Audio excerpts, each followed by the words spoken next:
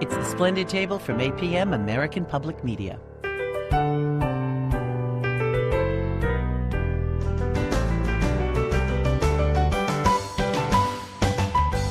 I'm Lynn Rossetto Kasper. Sometimes a single event can change our whole sense of food. It could be that guy that you met, the one from Thailand who cooks and romances brilliantly, and he got you, the spice hater, to love chilies. Or failing that final, and then the dawn breaks. Living on Red Bull and Cheetos may not be such a good idea after all. Or life does one of its nasty little U turns, and you go through what singer Sheryl Crow did. Well, today she tells how she, the woman who didn't give two hoots about what she ate, came to do a cookbook. This and a lot more coming up this hour on the Splendid Table.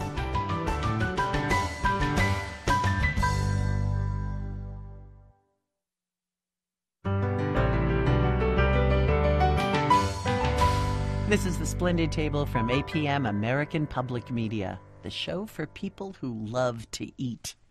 I'm Lynn Rossetto Kasper.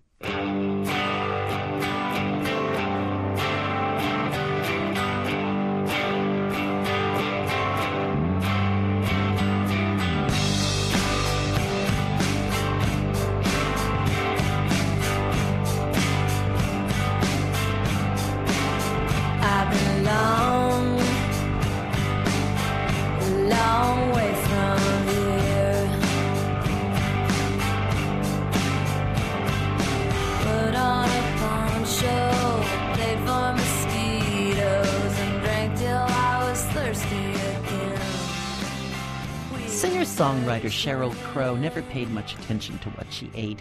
And that was understandable. I mean, when you're on tour all the time, you're writing, you're singing, you're gathering up nine Grammys. Besides, she was strong and healthy and pretty invincible. Well, in 2006, the word vulnerable entered Sheryl's world. There was a diagnosis of breast cancer, and with it came a nutritionist and a realization. What Sheryl ate mattered. A lot. How she eats now and her story are in her cookbook, If It Makes You Healthy. Sheryl Crow, welcome.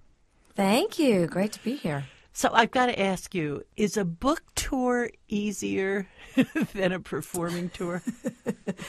It's a lot different. Um, you know, music is music is something that I love, and I also it's therapeutic for me, and I, I get an immediate exchange. And a book signing can be a little bit like that, right, right. but for the most part, it's um, it's maybe not quite as um, not quite as spontaneous, but nonetheless fun.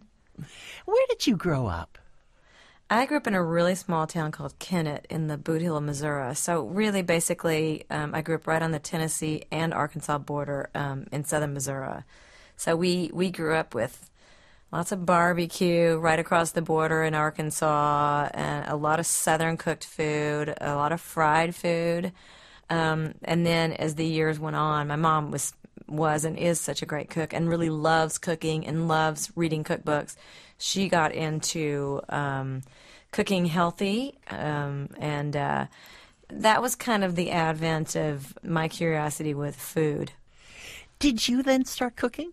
Um, my my sisters and I were basically designated table setters, but um, because she always loved it so much, we we would stand around and we would. That's when we got most of our uh, conversation in was when she was cooking and standing around the kitchen and stuff. But we we really didn't cook that much, and you know it's interesting. My diagnosis um, five years ago was was a real turning point because up up until that point, food for me had just been about sustenance, and it was slightly inconvenient, really, to be so on the go all the, all the time and have to stop and figure out what I was going to eat. And so, um, my cancer diagnosis was really what changed the way I looked at food. How did it change it? Well, I think most people will attest to once they get their diagnosis to becoming a, a student of cancer or a student of whatever it is they've been diagnosed with, Right. and you want to find out as much as you can, and you want to be proactive in your maintaining your your wellness. And, and in my particular instance, my, my cancer was discovered at a very early stage, but I, I wanted to make sure that everything that I, I could possibly be doing, I was doing with regard to staying well. And so much of what we put into our bodies has an immediate um, response, really. And anyone will tell you in the in the world of nutrition that no matter how many supplements, no matter how many vitamins, minerals, whatever it is that you're taking, um, the best source of that will always come from food. So how did you change the way you ate then? Since you were on, I can understand you're you're a performer, you're on the road. uh, You know, food isn't a primary thought. Yeah, I mean, I, I was really a person who ate out of room service menus, um, you, and you really never know uh, when you're eating in restaurants and out of room service menus what, uh, you know, if the food is organic, if it's even fresh. Um, I was a person that would eat a tuna salad sandwich every day because I liked tuna and it was easy. So I would go to the gig and I would eat the tuna that was there.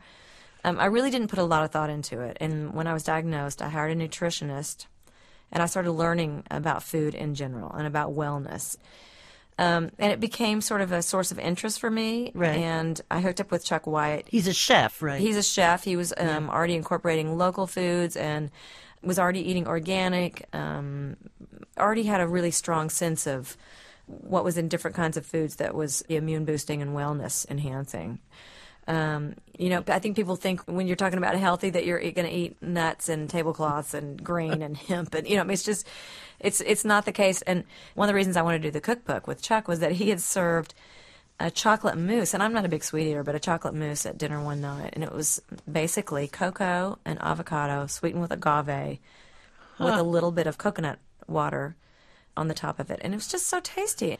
And little things like that that are just great. Um, especially as a mom, to be able to fix your, your kid or use as bribery. Meanwhile, you're feeding him something really good for him, and he thinks he's getting a treat. you have two boys. So are they good eaters? Um, I have two boys. Let's just let's just say yes. I do have two boys, and one of them is um, just turning a year, and he would eat um, anything I put in front of him. Now, I'm sure that will change because that's what tends to happen. My four-year-old was that way when he was one, and now he's become much pickier. And he he doesn't, you know, the acorn doesn't fall far from the tree. He's a, a little salt fiend like I am. So um, we, you know, we just try to keep it creative, and the rule is you have to at least try it. Whatever's in front of you, you have to at least try it. Right. So so you're heading out on tour and you are eating all this healthy food. Is this the way your whole group eats now when they're on tour? Yeah, you know, it's funny. Touring in the last few years has not been that lucrative um, because everyone's touring. Nobody's buying records anymore, so everyone tours, and the economy is what it is. Um, so we all know as artists that the best way to be able to afford being an artist is to go out and play, which is great with me because I love it. But I always say, no matter whether we lose money or break even, I will always take Chef Chuck with me, or if he can't do it, someone of a like mind, because I feel like food is um, a morale booster as well as an immune booster. Um, when already our immune systems are being taxed by the fact that we're living on buses, we're breathing bus air, we're living in hotels, the hours are not typical. You want everyone to feel like they're being taken care of. And for me, it is the one area that I don't I just don't script on anymore because I, I feel like people give their time and their lives to come out on the road and support me. So the best way I can support them is to feed them in a healthy way. So our dinner time on the road is really about spending time with each other and eating something healthy and then going out and playing music. Sounds pretty great. It's fantastic. Sheryl, thanks so much for talking with us. Thanks for having me.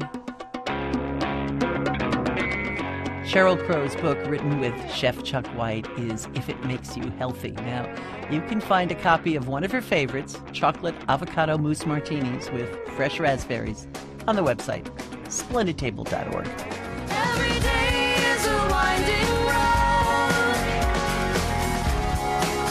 get a little bit closer